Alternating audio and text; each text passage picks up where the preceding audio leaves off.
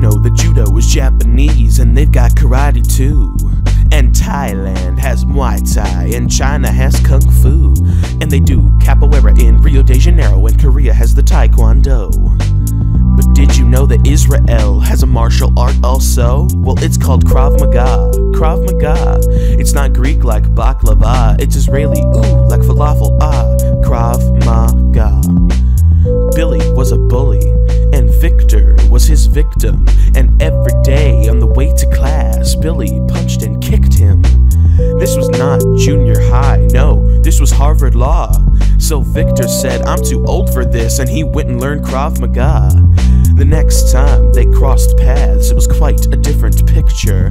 Cause this time Victor fought back, and Victor was the victor. He took Billy's head, stuck it in the lavoie, and he went flush, Billy. Now you know you mess with Krav Maga. That Billy was burly, but still he got a swirly. Cause Victor took him out like he was just a little weakling. I won't rhyme girly there, that's one we all foresaw. And unpredictability is part of Krav. Miriam and Rebecca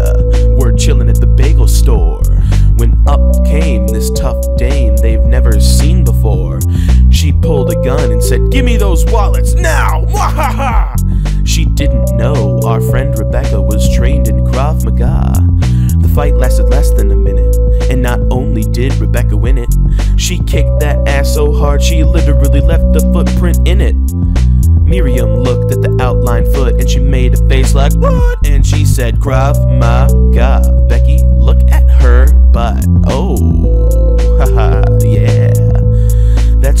Maga. Oh my god, oh my god, oh my god, that's Krav Maga. I said, oh my god, that's Krav Maga.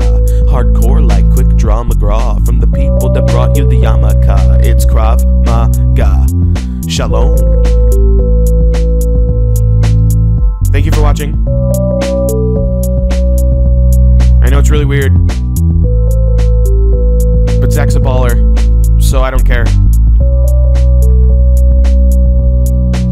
Alexander Hamilton's the greatest president in the world.